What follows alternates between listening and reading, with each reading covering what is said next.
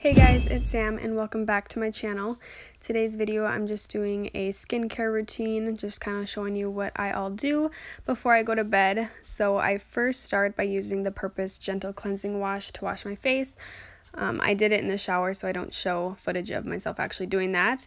But next I go in with the Proactiv Revitalizing Toner um, just to kind of clean all the excess makeup that maybe my um, face wash didn't get all off, so you'd be surprised how much makeup is still left on your face after washing your face.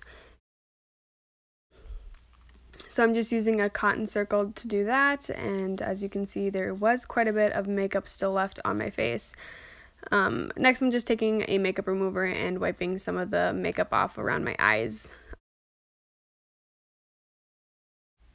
Now I am just going in with a Dr. Brandt Microdermabrasion Age Defying Exfoliator. Um, I got this in one of my Ipsy bags one time, but um, here I'm just kind of damping my skin and gonna be scrubbing that in for one to two minutes. Um, the exfoliator is pretty harsh, so I would recommend having your face pretty wet during it, otherwise it does hurt. And then after the two minutes, then I just wipe it off with a damp washcloth and my skin is baby smooth again. and here I'm just taking my Neutrogena oil-free moisturizer. I've been using this for so long and it's like the only one that doesn't really give me breakouts other than my Purpose um, moisturizer as well. So I do like this stuff.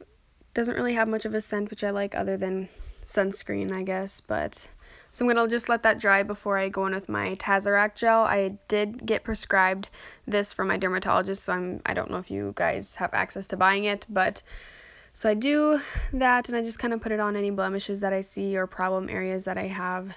Um, I don't like to use a lot of it just because it is super concentrated and it dries out my skin, but um, here I'm taking my number 7 Beautiful Skin Overnight Revitalizing Eye Balm. I don't use it very often, just kind of when I notice that my eyes are looking puffy or whatever, but um, here I'm going in with this Masqueology 24 karat gold serum. I thought this was kind of cool. It's supposed to give moisture and elasticity to the skin. I haven't used it long enough to decide whether or not it does what it says, but I guess I just like to use it.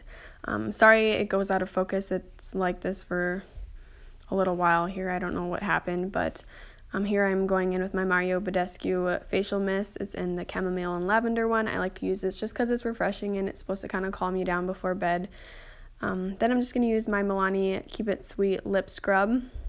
This definitely gets all my dry skin and like, I don't know, my lips like to peel really bad. So this just smooths it all out and makes them really soft and kind of plumps it up a little bit.